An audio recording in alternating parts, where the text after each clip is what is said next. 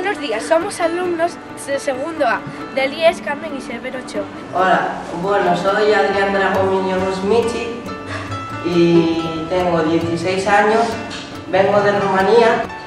A pesar de las lluvias, multitud de creyentes acompañaron al Cristo en su viaje camino a la capilla de la Catedral. A causa de las lluvias decidieron tapar el manto con un plastiquito un poco ridículo que servía para salvaguardar el manto. La lluvia condena también al Viernes Santo. Pescador valdesano fallece por un golpe de mar. Presentación Microsoft Windows en el IES Carmen y sobre 8 Los adolescentes carecen de lugares donde divertirse. Por eso, el Ayuntamiento de Valdés les ha propuesto realizar actividades sociales a cambio de concederles materiales o locales para su disfrute. No tiene mucha memoria.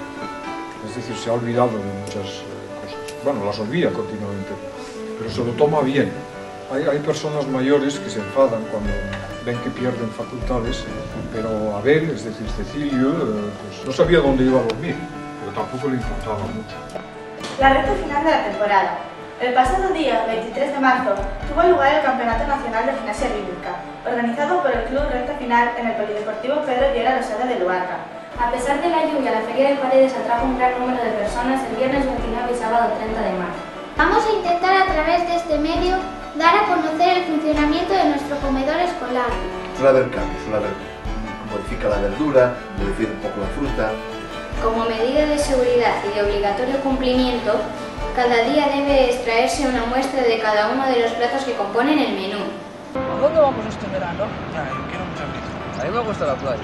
Hombre, es mejor la montaña. Eh, yo quiero tranquilidad. Yo quiero buenos. A mí buenos paisajes. ¿Pero a dónde? ¿A dónde va?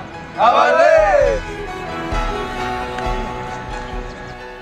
La capital valdesana ha organizado de nuevo, paralelamente a la Semana Santa, su particular recorrido de ofertas por distintos comercios. Hola, soy Juan Valdés, vengo de Paraguay.